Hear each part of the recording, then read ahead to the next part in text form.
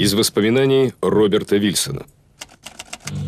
Я ненавижу Англию точно так же, как и вы. Готов вам помогать в любом мероприятии против них. Если мы будем едины, весь мир будет наш. Вот сэр Роберт Вильсон свидетельствует. Или лжесвидетельствует. Роберт Вильсон был официальным наблюдателем при русской армии в 812 году. Участвовал в боях, отличился, награжден русским орденом Святого Георгия Третьей степени. Первым сообщил о разгроме Наполеона. Однако это не помешало сэру Роберту Вильсону стать основателем английской и западной русофобии. Сразу по возвращению в Британию после войны он занялся антирусской кампанией, обвиняя русских в варварстве, уничтожении пленных, каннибализме – в 17 году Вильсон выпустил антироссийский памфлет «Описание военной и политической мощи России».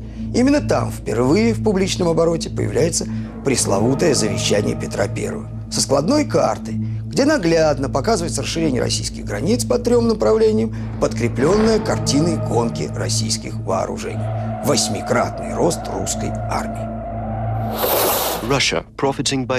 Россия использовала в своих целях события, от которых страдала Европа, взяв в свои руки скипетр всемирного господства. Англия посвятила все свои силы и ресурсы, чтобы устранить опасность одной доминирующей державы – Франции. Но Россия, воспользовавшись случаем, оказалась на такой высокой вершине, о которой французы могли только мечтать. Роберт Вильсон, 1817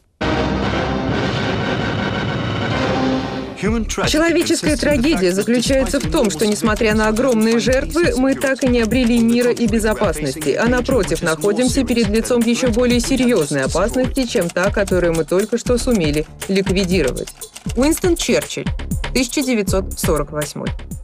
Вот как точно в вильсоновской традиции изменилась лексика нашего ближайшего союзника, только что возлагавшего на Россию всю надежду на спасение Британии. Сталин – это Гитлер, который желает, чтобы плоды победы достались ему без всякой борьбы. Уинстон Черчилль, 1947. Официальная британская позиция по поводу деятельности Вильсона тогда была мягко оппортунистической. Ну, не надо нагнетать страсти, разрушать союз. Но уже тогда идеи Вильсона обретают очень большую популярность среди британских интеллектуалов, либералов и прогрессивных журналистов.